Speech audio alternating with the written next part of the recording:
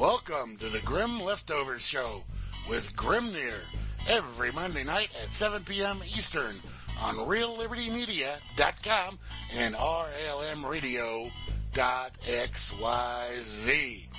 Ah, yeah, folks, it is Monday evening uh, once again, and I am back here with you on this April 6, 2020.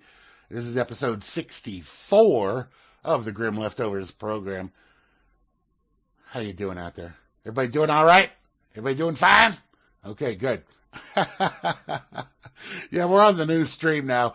Uh, I think I was on it last week too, but uh, yeah, we're we're trying to get stuff, uh, or I should say, I am trying to get stuff uh, kind of lined up and worked out to be where it was with the old stream. Uh, I didn't really want to change streams, but uh, that that old uh, service never never got back with me. I contacted him a couple times, and oh well, what can you do? What can you do? Uh, anyway, anyway, so um, I'm trying. I got us, I think, hooked back to internet radio, uh, and uh, I'm working on the tune-in thing. We'll see. We'll see how that goes. But trying to get some of our stuff turned back on, which I have to do when I when I change streams. You know, uh, so uh, oh well, that's all right. So anyway, howdy and hi, and welcome to all the folks out there in the various places you may be tuned in from, whether that be right here on RealLibertyMedia.com or over there on RLMRadio.xyz. It's possible you're over there on RealLiberty, RealLiberty.org, except I think I still need to modify that radio to make it work right, and over there on FreedomsNetwork.com. Uh, of course, there's a problem on FreedomsNetwork.com right now with the uh, SSL cert I've contacted uh, Bo Diddy on that, and hopefully he'll get that fixed up right quick. That would be a good thing. All right, uh, let's see. Anything else RLM news related? Uh, I don't think so. Everything seems to be going fine here on RealLibertyMedia.com, and uh, hopefully uh, all the RLMers are are staying healthy. Uh, which I, I I say that kind of tongue in cheek because Come on. I'm not buying this Corona stuff. I'm just not buying it. It's it's it's it's a it's a big load of nonsense. Uh, but uh, that that that's my take. That's my view. So uh, in that vein, in the vein of uh, that being that, and uh, I was like I said, uh, thinking about not doing doing a show because of all this Corona nonsense news. I had to look deep, deep into my list of stories I had saved up to see what what I had here for you. And I got some good ones. I got some good ones lined up. Yes, I do. All right, we're we're we're kicking it off on a website, the uh, Evening Standard, uh, standard.co.uk. And uh, got any? Do we do we have any flat earthers out there? Any flat earthers?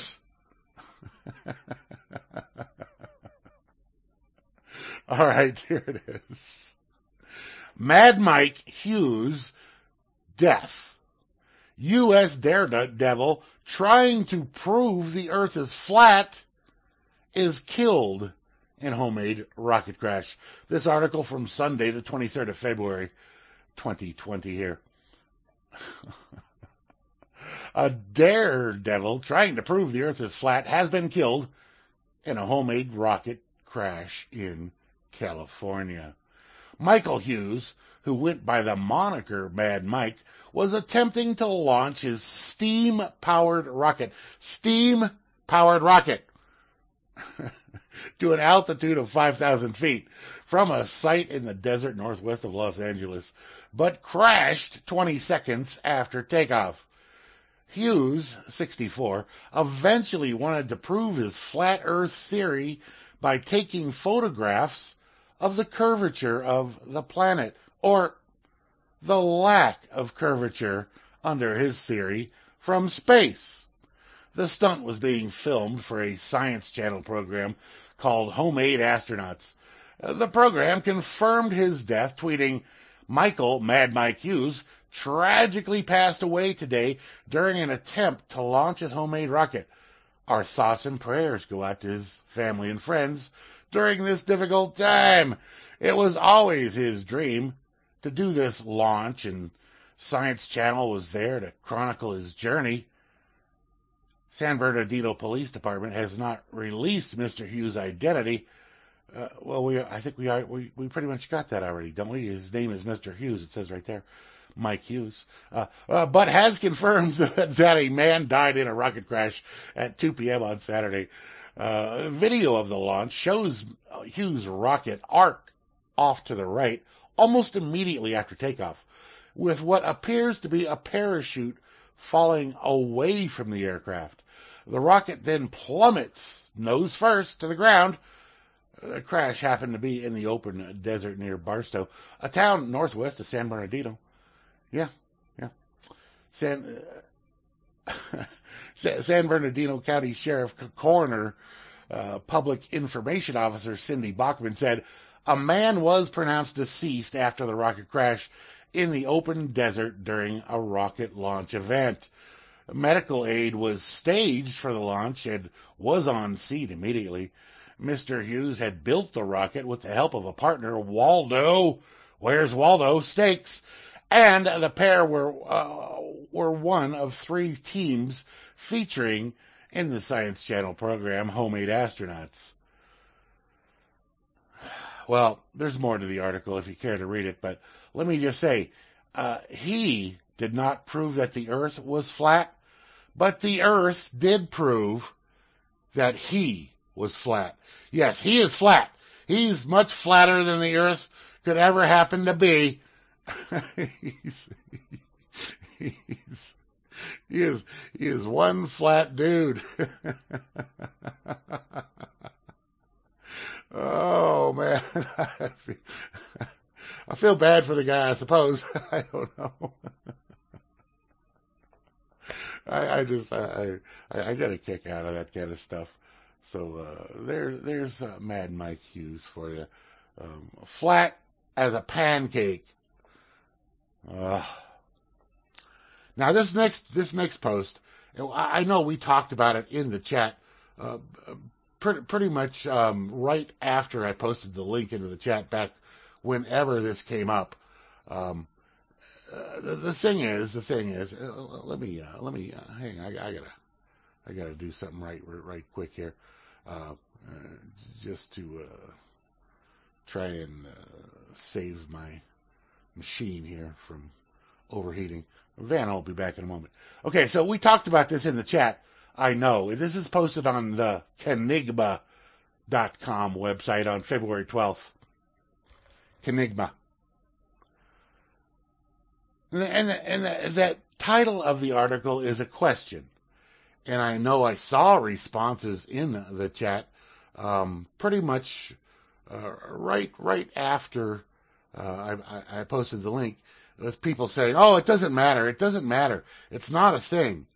I disagree, and I disagree for a number of reasons. But uh, let, let, let, me let me just uh, give it to you here. Does holding cannabis smoke in longer make a difference? And immediately people were saying, "No, no, it makes no difference." I disagree. I disagree in a big, big way. I do. Anyway, let me, let me give you a little bit of what he's got here. He says, It's conventional wisdom that has been passed down for generations and is accepted as de facto gospel among marijuana smokers. The longer you hold the smoke in your lungs, the stronger the effect. And while holding your breath and taking uh, strong, deep inhalations can produce a stronger feeling, Research has found that the longer you wait before exhaling has no bearing on the actual absorption of THC. Nonsense! The psychotropic uh, component of marijuana. And, let me just say this about that and why I believe what I believe about all of this. Um, the, the thing is, maybe if you had some kind of weed that um, didn't expand, uh, maybe I would agree with that. But but any decent weed uh, that I've seen has has a pretty good expansion factor to it. Um, and, and when when you if you don't allow that expansion to occur, then then you're you're not filling up all the alveoli there in your lungs, uh, and and and and that's that's required in order for that to get deep in there and and, into your oxygen system. Uh, that's how it works. Now, uh, let me go on here a little, a little bit more of this article, though. Uh, part of the popularity of smoking as a delivery method is that marijuana, uh, with marijuana, it produces an almost instant effect. Yeah, you get the buzzing pretty quick. As the smoke is absorbed into the tiny air sacs in the lungs, known as the alveoli, uh, the exposure to heat during smoking and vaping also, uh, let me take this word here, uh, decarboxylates the marijuana, decarboxylates the marijuana, uh, converting the THCA to THC as the smoker pulls it into their lungs.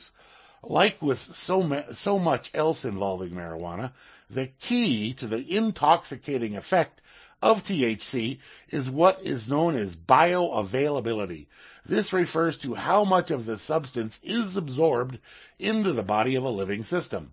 With THC, it is closely linked to the method of consumption, and a major part of why smoking is such an effective and popular way to consume marijuana.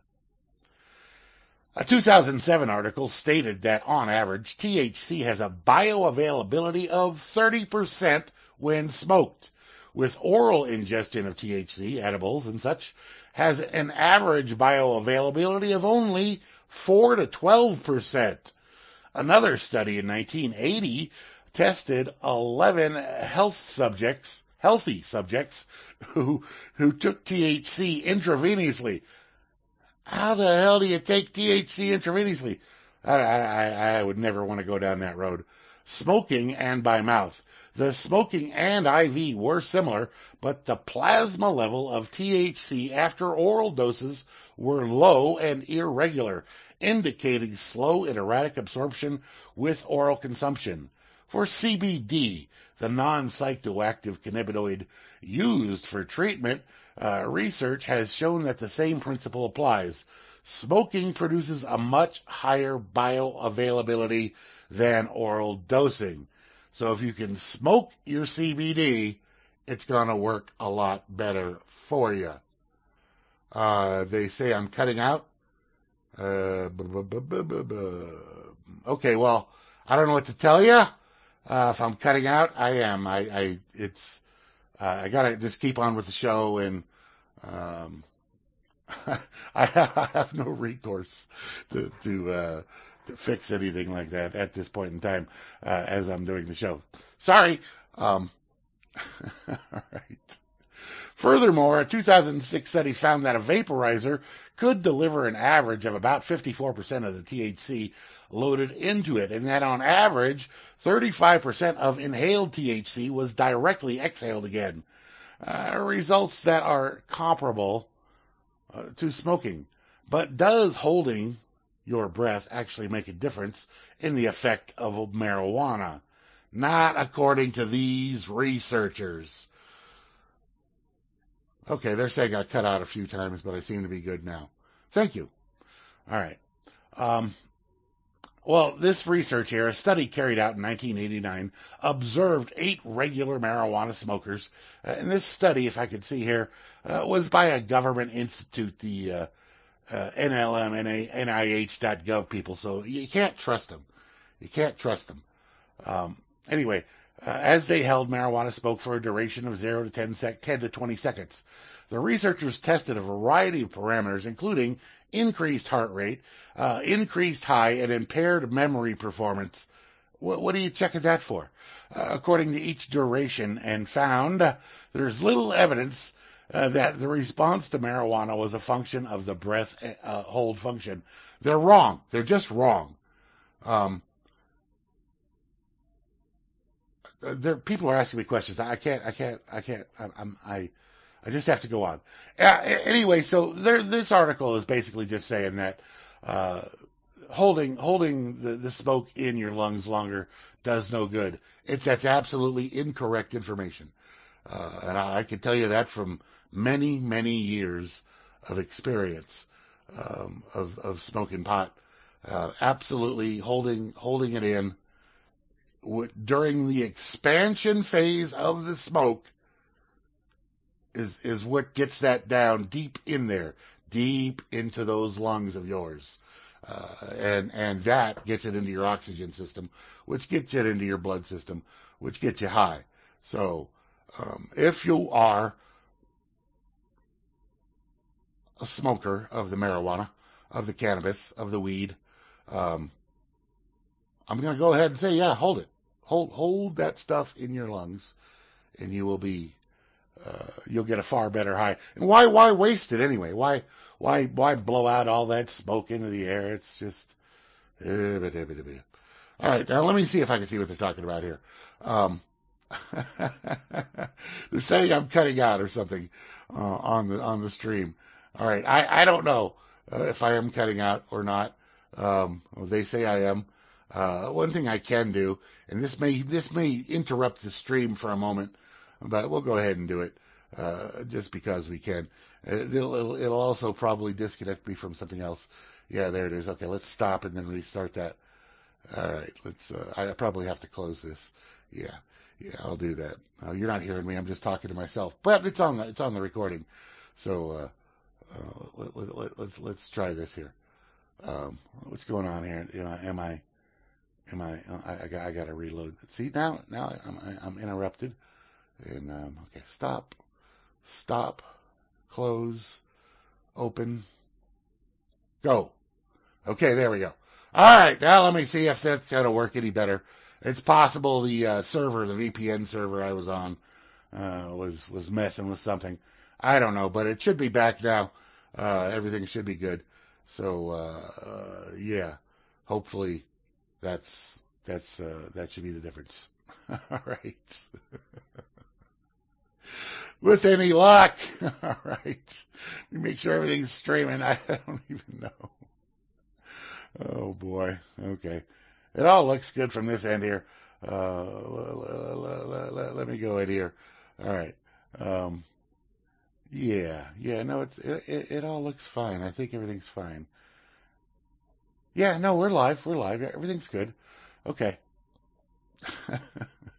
all right. Uh, everything should be back. Okay, sorry guys if it was an interruption in the stream there. Uh, you'll have to listen to the uh, you'll have to listen to the uh, podcast later. Uh, apparently, it might be, maybe the VPN server that I was on was was not working too well, so I switched. All right. From uh, April 2nd, so not that long ago. Oh, no, April 2nd, 2019, excuse me. Uh, so a year and not that long ago. From TakeBackYourPower.net. Brussels becomes first major city to halt 5G due to health effects. Due to health effects. So, great news. A Belgian government minister has announced that Brussels is halting its 5G plans, at least for now, due to concerns about health effects. The statement was, was made by Celine Fremault, all right, the minister of the government of the Brussels capital region, responsible for housing, quality of life, environment, and energy. She must have an awful big uh, business card, I would think, to, to get that whole title on a business card, or very small font. she says, I cannot welcome such technology if the radiation standards, which must protect citizens, are not respected, 5G or not. The people of Brussels are not guinea pigs whose health I can sell at a profit. We cannot leave anything to doubt. Ms. Fremault accurately identified that the 5G pilot project is not compatible with Belgian radiation safety standards. Uh, which they give you the, the data there on uh, that, um, and stated that she does not intend to make an exception. Good, good for her.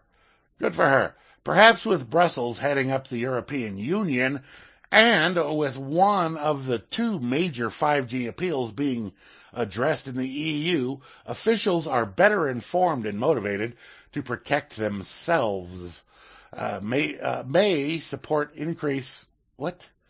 May support increase? That doesn't make sense. Anyway, from for Ms. Fremault and all officials who are hearing the call to sanity and prioritizing people over technocratic oligarchy. Technocratic oligarchy. the 5G situation in summary. There is almost no question that a 5G world would place us all under an, an unprecedented level of surveillance and control, granting unheard of powers to soulless corporate algorithms. That should be enough to permanently delete the agenda right there, filed under useful technology gone bad. Uh, though perhaps an even bigger question for our time is does 5G pose a major threat to all biological life? The independent evidence overwhelmingly indicates that it does. That is, unless you ask wireless industry sources who own the FCC and who recently put out this CNBC propaganda commercial and a thinly veiled attempt to quash the pushback. Uh, the talking heads of the wireless industry brashly admit, when forced in a U.S. Senate hearing, that they have not done any safety studies, and they do not plan to. the fact is, hundreds of scientists are trying everything to sound the alarm. One such voice is Dr. Martin Pall, a WSU professor emeritus whose research actually lays out the mechanism of how wireless radiation causes harm in our cells, calls 5G the stupidest idea in the history of the world. That's saying something. The stupidest idea in the history of the world. Yes, that is 5G. However, within the corporatized halls of government, there is a well worn pattern of voices of reason being drowned out by the frost frenzy of technocratic corporations who envision 5G as an unprecedented economic opportunity for the full on commercial exploitation of reality. But the 5G pushback is starting to get viral. The compilation of truths assembled in videos on 5G like this one provide a much needed reality check on the shocking state of greed and deprivation among the agenda pushers in our world. While it may sound stark after observing this for a long while, to me, it honestly now appears that those pushing this agenda are stuck in a type of hive mind syndrome. So the frenzied with dollar signs and us versus them progress obsessions that they are in a mode incapable of self corrective thought or, at the very least, incapable of seeing where all of this is obviously heading for them and their kids, too.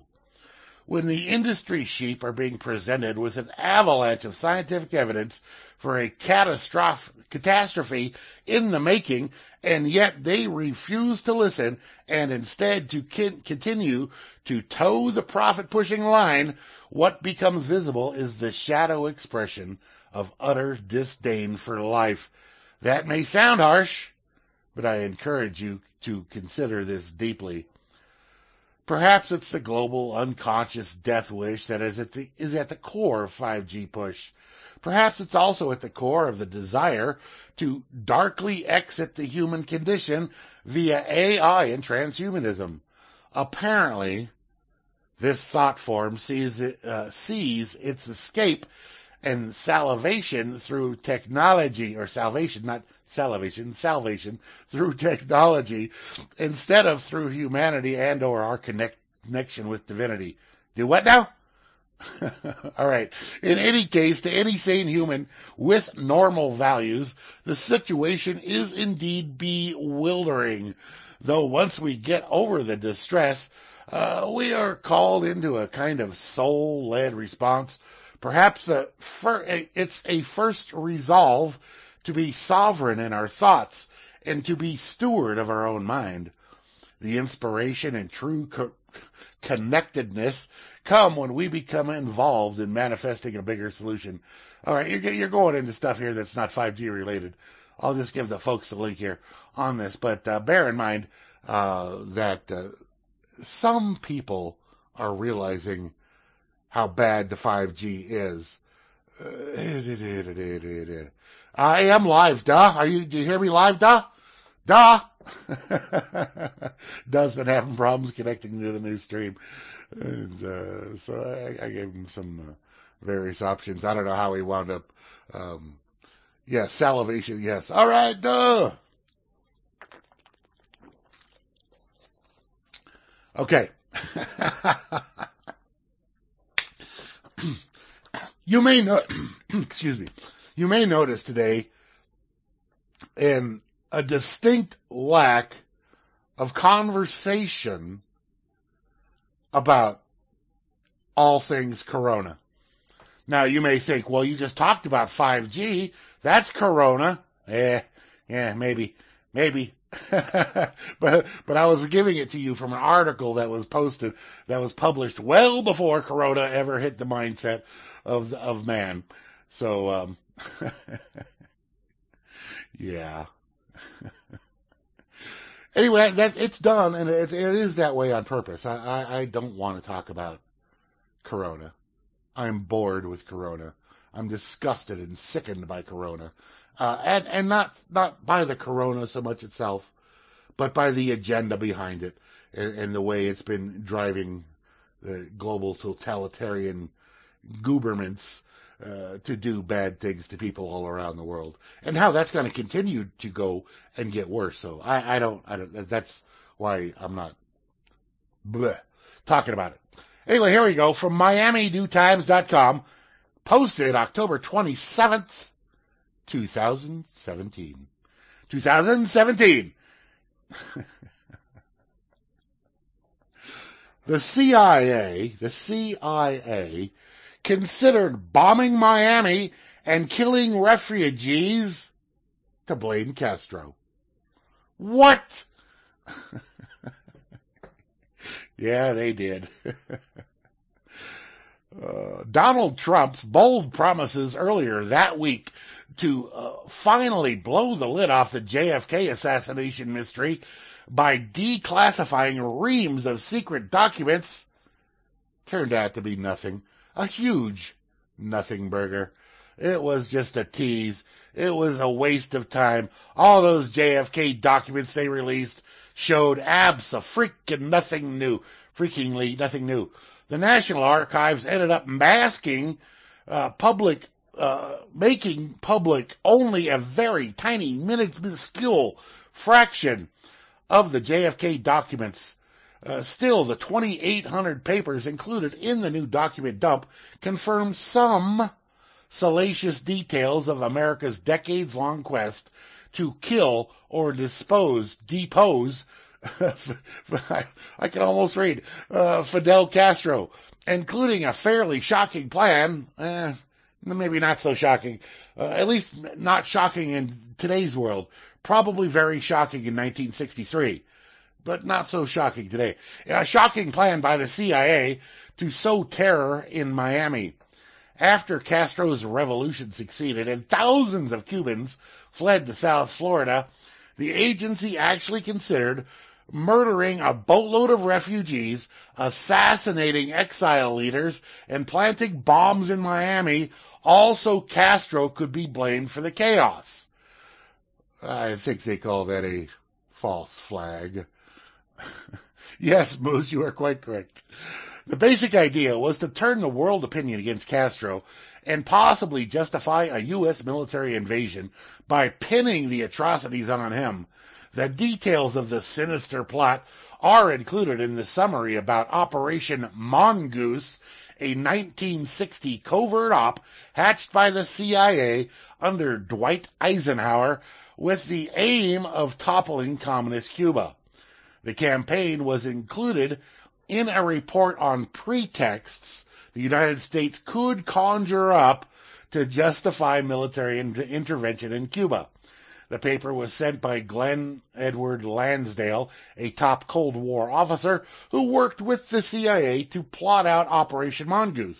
He sent the report, which included nine other pretexts, on April 12, 1962, to General Maxwell Taylor, who would soon become chairman of the United States Joint Chiefs of Staff. Here's how the report described the plan. We could develop a communist Cuban terror campaign in the Miami area, in other Florida cities, and even in Washington. The terror campaign could be pointed at Cuban refugees seeking haven in the United States. We could sink a boatload of Cubans en route to Florida, real or simulated. We could foster attempts on lives of Cuban refugees in the United States, even to the extent of wounding and instances to be widely publicized.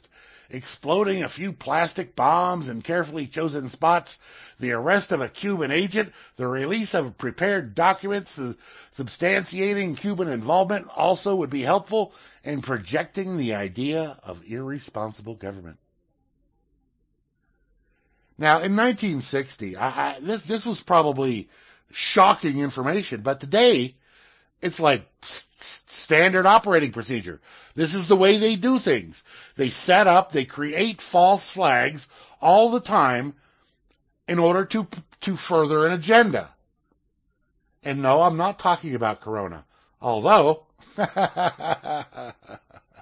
just to reiterate how crazy this idea is, the CIA thought about blowing stuff up in Florida and murdering innocent refugees simply to make Castro look bad.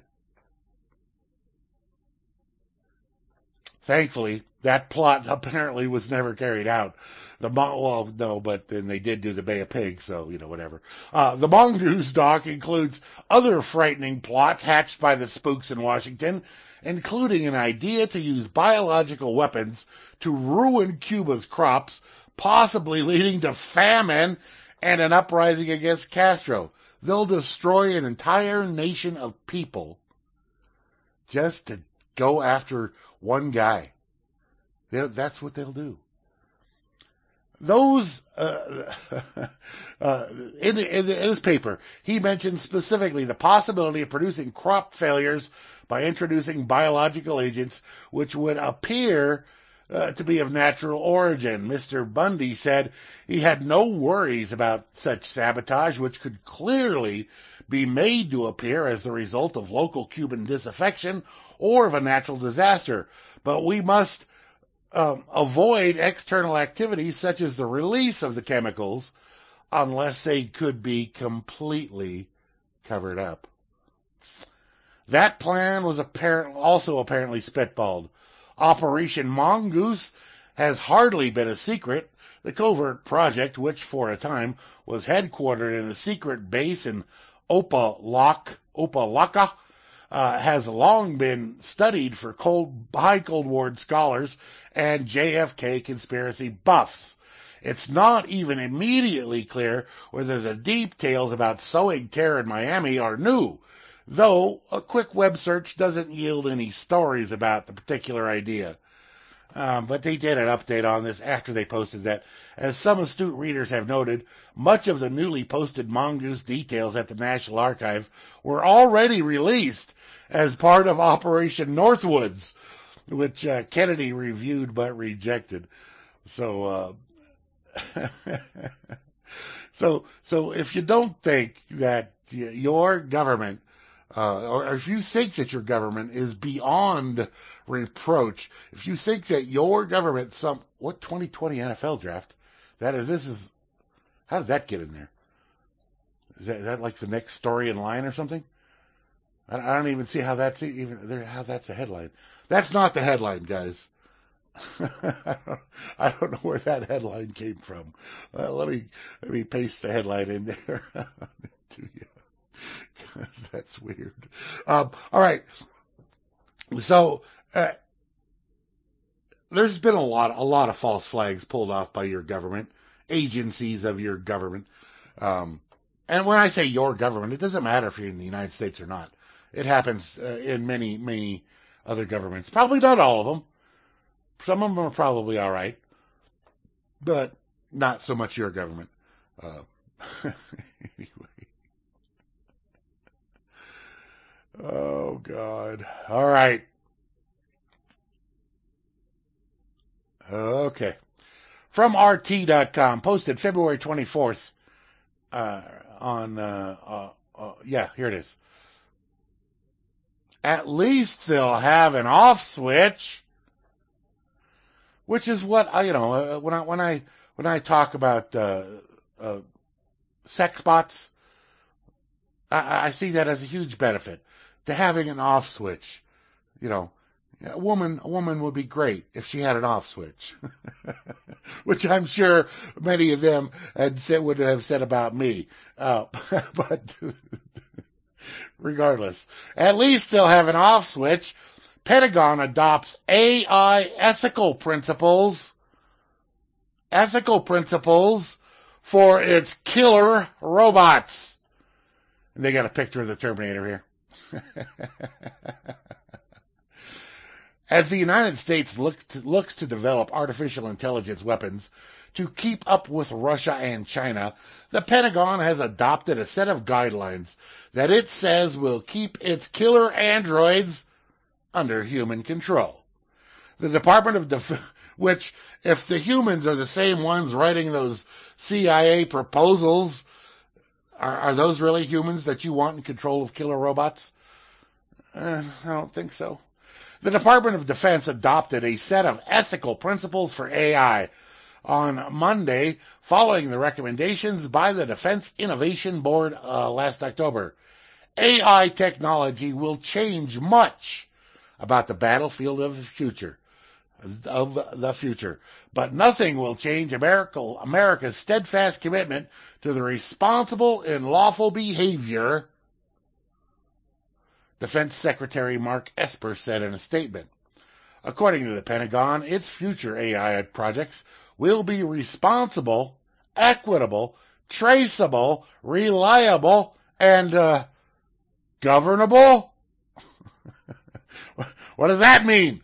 As the Defense Innovation Board recommended, some of these live or five principles are straightforward. Once you decipher the Pentagon speak anyway, governable. Governable.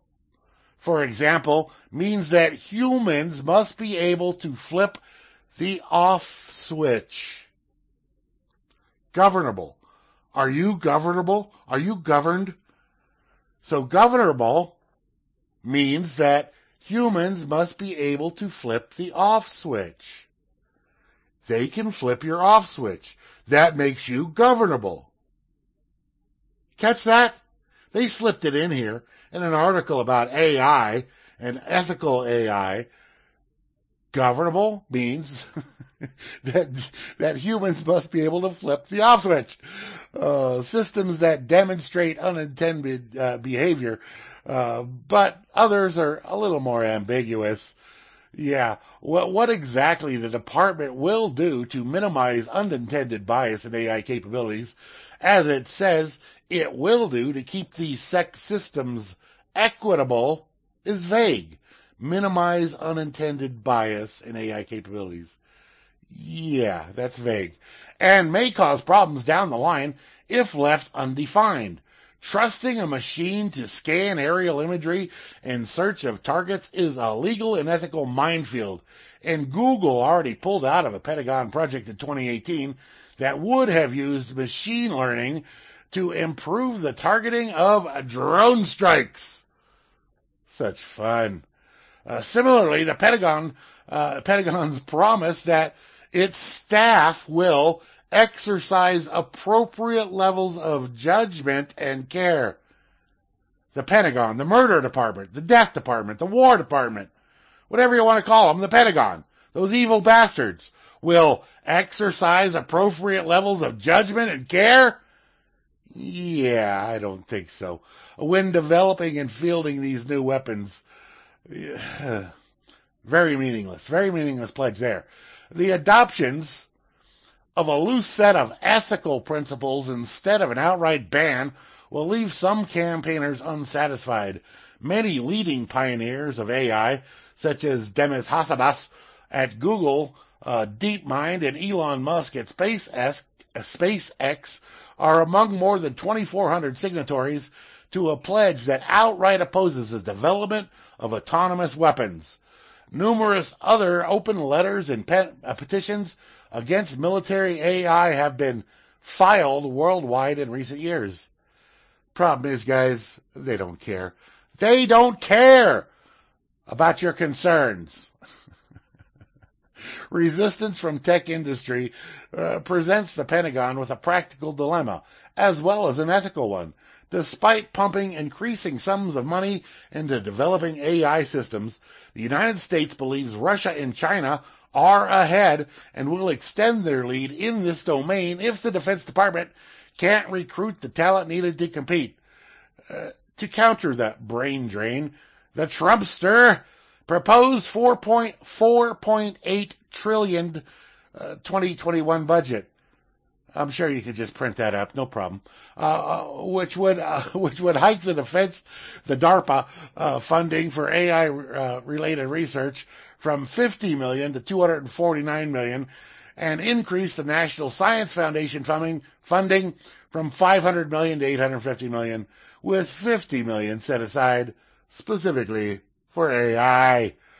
Whatever devices DARPA comes up with if this set of guidelines is followed, at least they'll have an off switch operated by some crazy murderous human from the Department of Defense.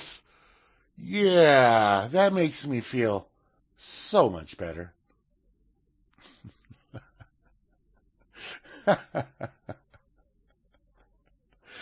oh boy. All right. All right. From lowering lowering the bar.net posted on uh, October 10th, 2013. It's been a while. It's an old article. I had to dig deep to find today's articles, but I did, and I and I came up with this one. no, you're still deceased. Judge tells dead man. What? There's a man sitting in the courtroom. He appears to be in good health, noted Judge Alan Davis on Monday, but by the end of the hearing, that man was dead. Yes, he had also been dead when he walked in, though, so nothing changed, really. As Ryan Dunn of the Courier reported on Tuesday, way back in that year when this article came out, Donald Eugene Miller Jr., formerly of Arcadia, Ohio, had been declared legally dead in 1994. In fact, Judge Davis was the one who issued that order. After a hearing at which Miller appeared physically in an effort to prove that he was not actually dead, Davis ruled that despite this fairly compelling evidence of life, he walked into your court, he sat down, he's talking to you, fairly compelling evidence of life, in the eyes of the law, Miller would have to stay dead. Sorry, Miller. Donald. the reason for this is, uh, if this guy's research is correct, and of course, it probably is. Ohio Revised Code, Section 2121.01, uh, known as the Presumed Decedents Law, despite the title, uh, the law does not belong to any presumed decedents and certainly does not benefit them in any way. It provides for a presumption of death of a person if he or she disappeared and hasn't been heard from in five years, disappeared and uh, less than five years ago after being exposed to a specific peril or death, or was on active duty in the armed forces and has been declared dead under the Federal Missing Persons Act. Under the law, an interested party can bring an action stating that the necessary facts and asking the court to issue a decree stating the person is presumed dead. The PDL is part of the, the, the state's probate code, and so that the, the typical effect is simply to provide that the per- the property of the now legally dead person can be distributed as if he or she was in fact dead as a doornail. Willis can, can go through probate, real and personal property can be distributed, or well, not Willis, Wills, uh, life insurance payouts, and so on. In this case, Miller had been last reported in the, uh, Arcadia in 1986 when he, he testified Monday that he had lost his job, decided to look elsewhere for work, and then just kind of went further than I ever expected it to, uh, like to Florida. After he had been missing for eight years, his ex-wife asked for the death decree so her children could get Social Security death benefits, and Judge Davis agreed. According to the report, Miller returned to Ohio in 2005, whereupon his parents informed him that he was dead. Sorry, Sonny, you did!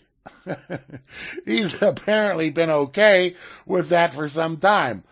But the court, the court that he would like to, he told the court he would like to be alive again now so that he can get his social security card and driver's license back. Sorry, Charlie or Donald. Uh, the Ohio law does not provide for situations, or does provide for situations, which it's later established the presumed presumed decedent is alive, which is what Miller was hoping to show by bringing his body to court and proving he was still in it. A death decree can be vacated, at which point the presumed decedent's status is elevated to a, a person erroneously presumed to be dead, and he or she uh, then has certain rights to recover property. His ex-wife said she only opposed Miller's motion uh, because she didn't want to have to pay anything back, and noted that he owes about $26,000 in child support. Uh, the problem is that the law is pretty clear. Uh, that this has to be done within a three year period from the date of the decree. Since 19 is more than three, sorry, buddy, you're still dead.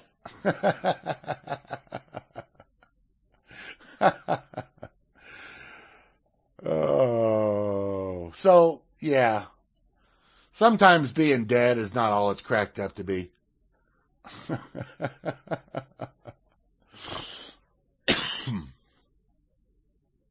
All right. Now, if you ever just thought about, you know, I want to be an astronaut, and then you, you, you found out, well, astronauts, you know, they could be up there for whatever amount of time, six months, a year, they don't know. Uh, they, they could be up there for a while, up, up there in space. And all that time, no sex. You can't have sex up there. Wait a minute. Maybe you can. on on futurism.com, February 24th. Scientists say, and I don't know why it's unfortunate, but unfortunately, astronauts will need to bone in space. Bone in space. as space agencies work to launch uh, crewed missions deeper and deeper into space, they tend to overlook one crucial variable. Astronauts are people, meaning they sometimes get horny. That's the problem presented in an essay published by the Conversation last week, that NASA and other groups are failing to prepare for crew, crew members' human needs. In other words, astronauts may face undue psychological and mental strain due to space abstinence. Space abstinence. In order to accommodate astronauts' needs, the conversation essay argues that space agencies should embrace high-tech sex toys, especially AI-enabled sex robots that could act uh, out the role of a partner. Astronauts, despite their rigorous training, remain humans with needs, writes the essay, essay's two authors, Concordia University psychology grad student uh, Simon Dubé and some other guy, uh, whatever. Because of because crew sizes will be extremely limited, they argue human relations would be ill advised due to the low chances people will find a compatible partner and uh, the risk of an awkward breakup. Ergo, sex bots. the problem is that a growing number of experts are rallying around the idea that sex robots, even with AI crafted semblances of human personality, are a poor replacement for human partners, at best. I disagree. if an astronaut is a digisexual, you got that? New there's a there's a new uh, uh what do you call it? Sexual uh, sexual preference, I guess. Digisexual. Regardless, uh, more power to them. But to others, getting an official NASA issued sex bot before liftoff might make a long journey to space seem even lonelier and psychologically damaging than before. oh, did you sexuals?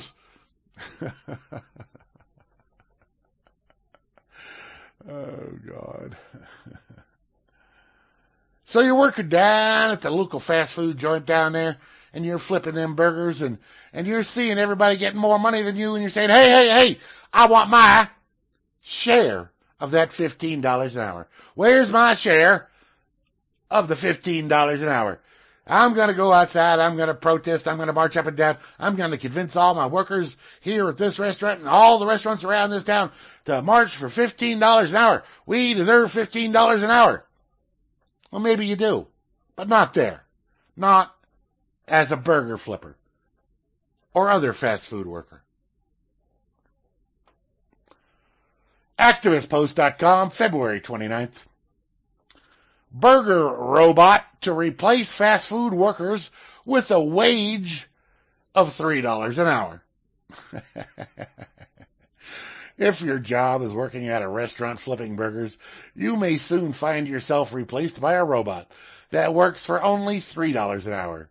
A new robot named Flippy, Flippy Developed by Miso Robotics, Miso Robotics costs less to employ than a minimum wage worker.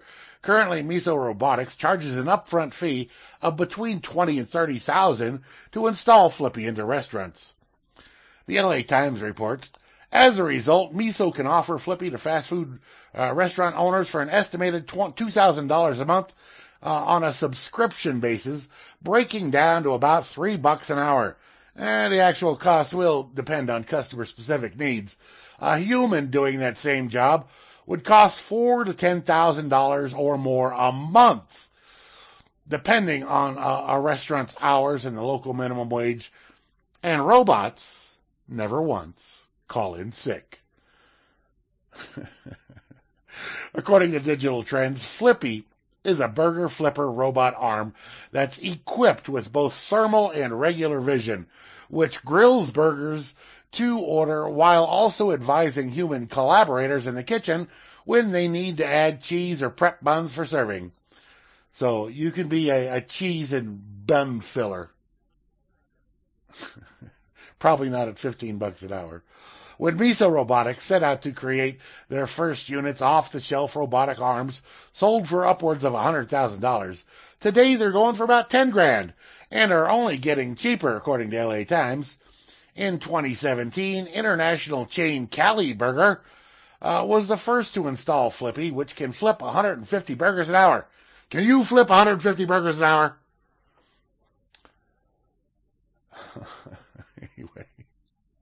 Moving on.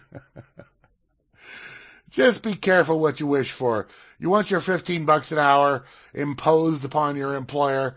Well, you feel free to, to go ahead and try and do that uh, and see where that gets you. Yeah, yeah. All right. Now, maybe in your home you're concerned because you're being watched.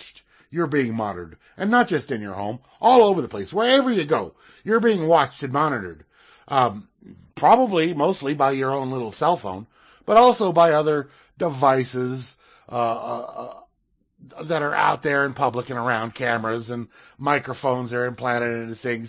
Of course, all this 5G nonsense, just things that are monitoring and tracking you. But but would you feel maybe just the slightest, the slightest bit better if you had a way to know what objects were tracking you? Also, televisions. You're correct. Well, your your your, your refrigerators, your microwave ovens, your toasters are also part of the Internet of Things that track you. Um, well, here you go from Activist Post, February 28th. A new smartphone app, so it's still got to go on your primary tracking device. A new smartphone app lets you monitor the Internet of Things spying devices. right, most only if they're smart. Smart. Not, yeah. All right, so so a new app lets you see cameras, Bluetooth beacons, and smart speakers around you and help you opt out of data collection.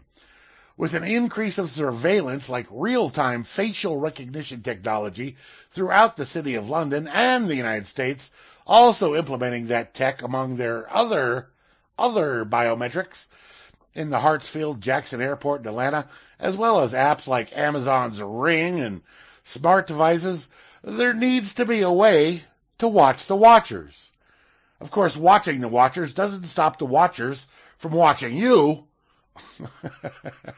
but at least you know where they're at. no matter where you look, Big Brother has been pushing for the use of surveillance technology, not just the UK from Amazon helping law enforcement with its facial recognition software, uh, DHS wanting to use it for border control, to the Olympics wanting to, well, that's okay. The Olympics is pushed off for at least a year.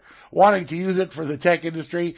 Even retail is pushing for the technology as an anti-theft mechanism to be introduced into thousands of stores using biometric facial recognition software from Face First, which is how you do a face plant first, to build a database of shoplifters. Some of the biggest airports in the country, estimated at 16 airports across the U.S., are now scanning us as we board their international flights. anyway, there's an app uh, that you can download. There's a link in this article here, uh, and and so uh, I I don't know how helpful it is. Um, I mean, if you download an app to your primary spying device it tells you all the stuff that's spying on you, but you're still being spied on. So, is it better to know or not to know? I, I don't know. I don't know. all right. And finally, lastly and not leastly, we come to this. We come to this. Welsh butcher from that's a guy from Wales, Welsh. Butcher, fed up, as am I, with vegans naming plant-based foods after meat. So he decided to make giant carrots out of pork. the, the pork kebabs are shaped like carrots, finished with an orange glaze, and even have parsley leaves. Yes, a Welsh butcher fed up with vegans naming plant-based food after meat has gone viral after he created carrots using minced meat and parsley. Tom Samways, owner of Samways High Class Butchers in Cardigan, uh, said he was so sick of vegan food being named after meat products, he decided to create a meat alternative to the beloved carrot. The root vegetable was rec- recreated uh, using a minced pork meat that was given an orange glaze and finished with parsley uh, to create the leaves. Tom, 36, said the carrots have been hit uh, have been a hit with customers. The carrots, and said and said his shop sold more than 300 on one day alone, on Saturday alone. Everybody loved them, he said. It started out as a bit of a joke. Uh, they were just a gimmick, but they've gone down well and we'll be making more. Uh, they'll be back on the shelf tomorrow. He added the idea came from the fact that a lot of vegan food is named after meat products, like vegan sausage, vegan chicken, all this impossible crap. I just thought, well, let's make a meat version of vegan food. So he did. oh, I love it. All right, folks. Sorry for the uh, stream interruptus early in the show, but uh, if you have to listen to the uh, first 20, 30 minutes of the podcast, I don't know how long it went on. Um, do that. Then you can catch all the early stories because I was talking about some good stuff there. Uh, that'll be up shortly. I'll be back again with another episode of Grim Leftovers next Monday evening uh, on the 13th. Monday the 13th. Is there, is there is there something? Is that like a something bad there going on? Monday the 13th. All right.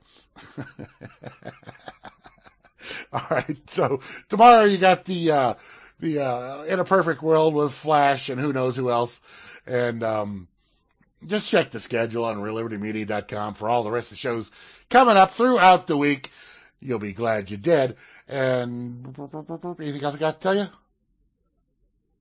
Wash your damn hands. No, no, no, no. Stay away from people having nothing to do with coronavirus.